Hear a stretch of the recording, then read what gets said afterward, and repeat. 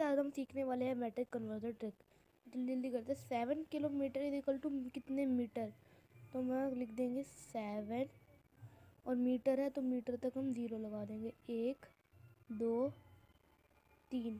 तो seven kilometre equal to seven thousand metre हम देखते हैं nine kilometre nine metre is equal to कितने हेक्टा मीटर तो हम यहाँ लिख देंगे मीटर है ना नाइन और यहाँ हेक्टामीटर तक लगा देंगे ज़ीरो तो यहाँ हम लगा देंगे पॉइंट तो zero point zero nine hectometre अब यहाँ देखेंगे four centimetre is equal to कितने मीटर तो फोर सेंटीमीटर देख लो कहाँ है, वहाँ लिख दो।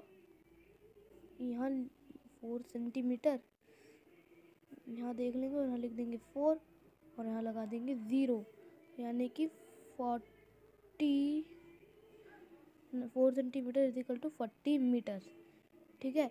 अब लगेंगे six D M is equal to कितने मिलीमीटर अब आप ये क्वेश्चन का आंसर बताओ, क्या आएगा? प्लीज़ लाइक एंड सब्सक्राइब भाई।